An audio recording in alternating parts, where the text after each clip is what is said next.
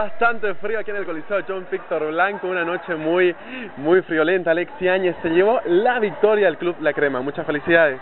Gracias, una entrevista fútbol con él, que día a día sigue futsal, ahora le tocó. Eh, gracias porque día a día están apoyando el fútbol.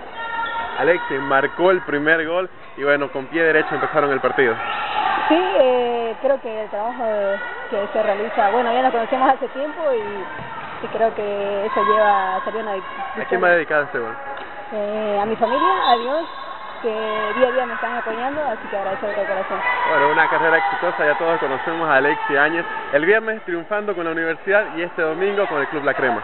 Eh, sí, el día viernes eh, nos llamó un triunfo de, de fútbol, que era Juegos Universitarios, que en la carrera de actividad física en la Gabriel, así que otros, eh, bueno, en un año creo que para mí ha sido exitoso, así que a seguir trabajando.